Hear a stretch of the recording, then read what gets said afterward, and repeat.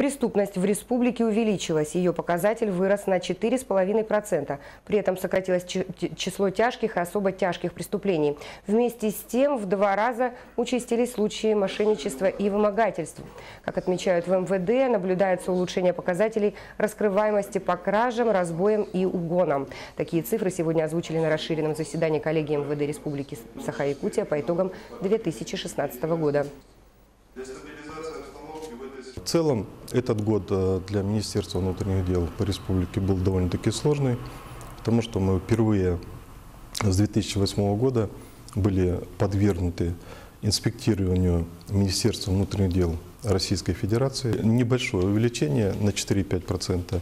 Но я сразу хочу сказать, что увеличение оно произошло только за счет э, превентивных составов и э, за счет выявления преступления. Это э, статья 264.1 Уголовного кодекса Российской Федерации за повторное управление транспортными средствами в состоянии алкогольного опьянения.